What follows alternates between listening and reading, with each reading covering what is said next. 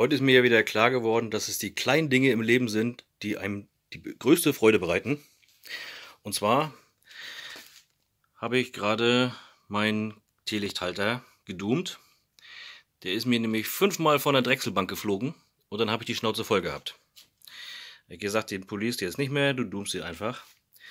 Und dann habe ich das Hackel 3.0 genommen und dann ist mir wieder aufgefallen, wie geil diese Flasche hat oben drauf so ein, ja, so ein Plastedingens, was man eigentlich abmachen soll.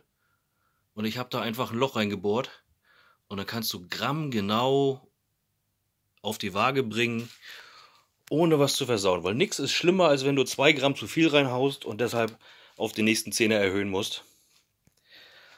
Und sowas macht dann Freude. Ne? Schöne Verpackungen. Schöne Verpackungen sind wirklich das A und O. Ähm, das geht gar nicht. Ich meine, klar, wer große Mengen gießt, der kippt sich das so in Eimer. Aber ich fülle mir das jetzt irgendwie in Flaschen um oder so, weil das ist Kacke.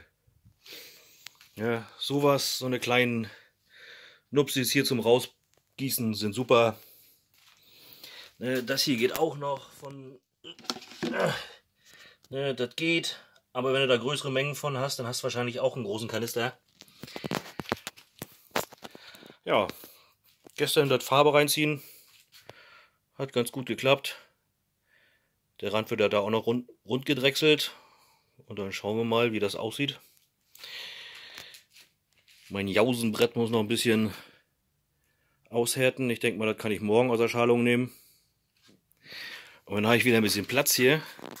Und dann fange ich endlich mit meiner Kugel an. Da bin ich gespannt. Da soll ich ja das Kristallriss nehmen. Das lässt sich wohl sehr gut drechseln.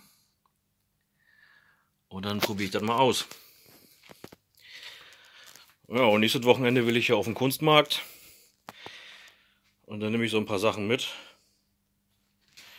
Ne, den Tisch unter anderem hier, den habe ich ja auch nochmal gedoomt mit dem, wo ist es denn? Da. Mit dem Zeug von Hackel. Also das macht sich echt gut.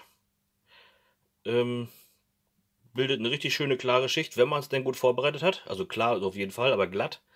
Aber du musst vorher wirklich schön, die Oberfläche muss schon glatt sein. Und dann bildet das einen sehr geilen Abschluss. Soll auch extrem schlagfest sein. Kratzfest und so weiter. Das gibt es auch beim Hackel. Ja, aber die Oberfläche muss gut vorbereitet sein. Nicht einfach so irgendwo drauf schmieren.